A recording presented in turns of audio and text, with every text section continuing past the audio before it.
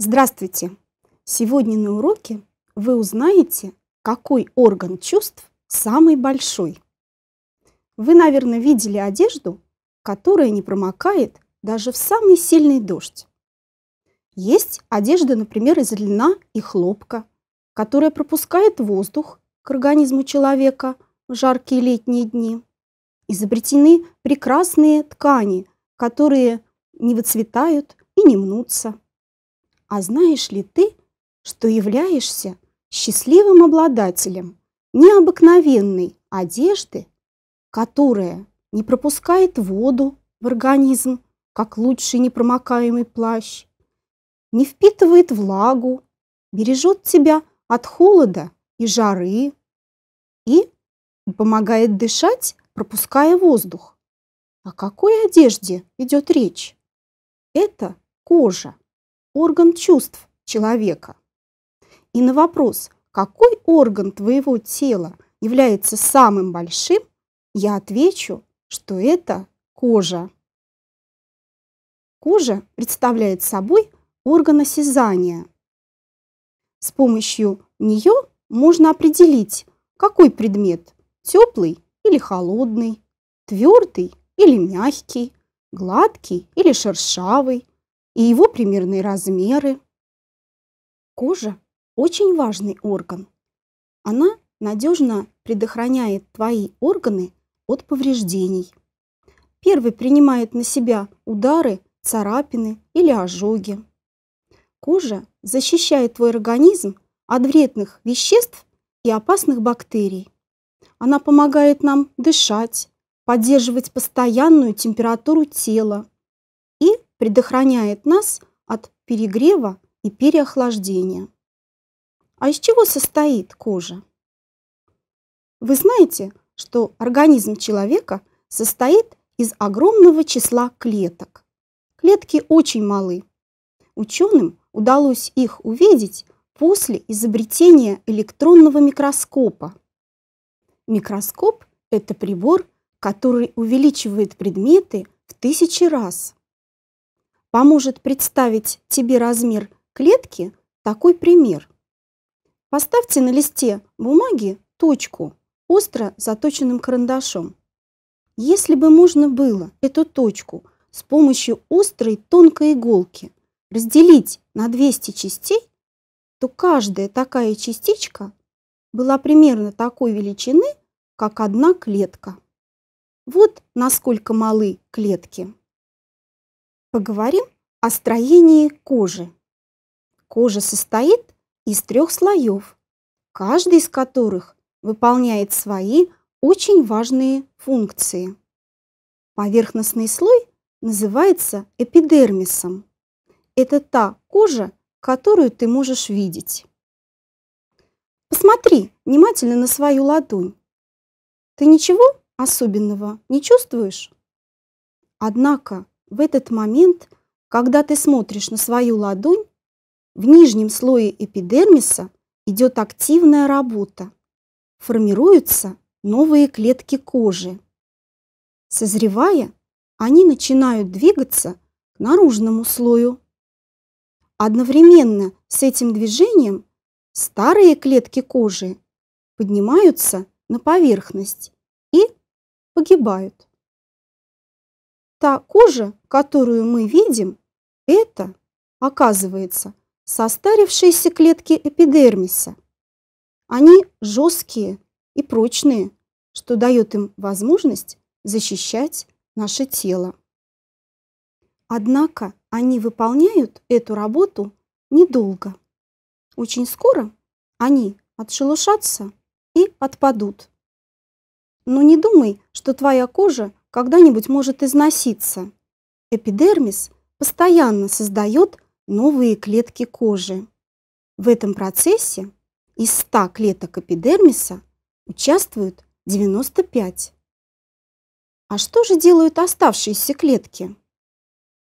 Они образуют вещество, которое носит название меланин. Меланин придает цвет кожи. У одних людей она светлая, у других более темная, смуглая. А в какой коже больше меланина? Его больше кожи смуглого человека. Когда ты загораешь на солнце, твоя кожа темнеет. Это защитная реакция организма. Темный цвет кожи защищает твой организм от ультрафиолетовых лучей и от солнечных ожогов. Подумайте, а кто лучше защищен от воздействия солнечных лучей? Люди со светлой кожей или со смуглой? Это люди с более темной кожей. Следующий слой кожи называется дерма. Он содержит нервные окончания, кровеносные сосуды, потовые и сальные железы. Нервные окончания сообщают тебе информацию о предмете, с которым соприкасается твоя кожа. Так, на участке кожи размером с небольшую монетку расположено около 35 нервных окончаний, различающих холод или тепло, прикосновение или давление, боль. А еще на этом участке кожи расположено около 1 метра крошечных кровеносных сосудов и множество потовых и сальных желез. Крошечные кровеносные сосуды поддерживают здоровье клеток кожи, принося им кислород и питательные вещества, в которых они нуждаются, а уносят углекислый газ и ненужные остатки питательных веществ.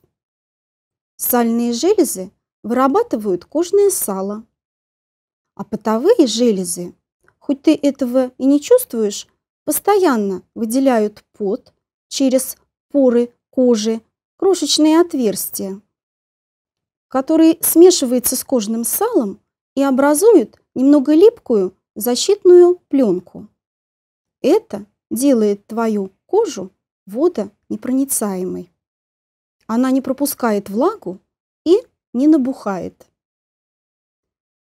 А еще защитная пленка закрывает отверстия пор и предохраняет тебя от попадания в организм вредных микробов, а их на грязной коже очень много. Так, в одном квадратном сантиметре грязной кожи их насчитывается 40 тысяч. Кожа ежесекундно сообщает тебе, жарко организму или холодно. И не только сообщает, а немедленно принимает меры, стараясь сохранить температуру тела постоянной. Когда жарко, сотни тысяч крохотных потовых железок начинают выделять капельки пота, которые выходят через поры кожи. Кожные железы вместе с влагой выносят из организма избытки солей. Ты в этом легко можешь убедиться, если лизнешь языком влажную от пота кожу. Она будет соленой. А доказать наличие защитной пленки на коже поможет опыт с иголкой. Возьми двумя пальцами иголку, лежащую на столе. А теперь вымой тщательно руки с мылом, вытри насухо полотенцем и попробуй снова взять иголку двумя пальцами. Это окажется не так-то легко сделать, потому что ты смыл липкую пленку. Но не волнуйся, через некоторое время липкая защитная пленка образуется снова. Третий Самый глубокий слой кожи называется подкожным слоем.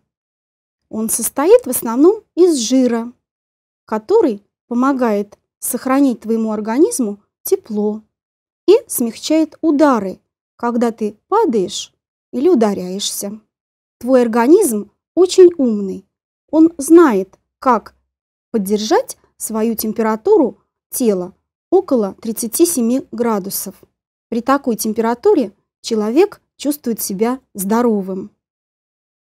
Итак, кожа состоит из трех слоев – эпидермиса, дермы и подкожного слоя.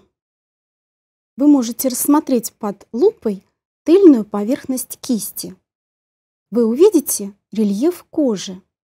Кожа как бы разделена бороздками на треугольные и ромбовидные дольки.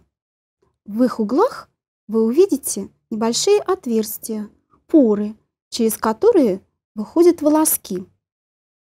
Продукты сальных желез выделяются через эти отверстия и поднимаются по стержню волос. Под лупой можно увидеть, что кожа блестит. А на кончиках пальцев кожа имеет особый рисунок. Этот рисунок у каждого человека свой, и он никогда не повторяется. Крохотные дырочки в эпидермисе кожи, поры, это протоки потовых и сальных желез, выходящие на поверхность кожи, можно увидеть на лице человека невооруженным глазом. И помните, что самое удивительное? Кожа постоянно обновляется. Старый слой осыпается, а под ним уже готов новый. Сегодня на уроке вы узнали о самом большом органе тела человека. Познакомились со строением кожи и с ее значением. На этом наш урок закончен.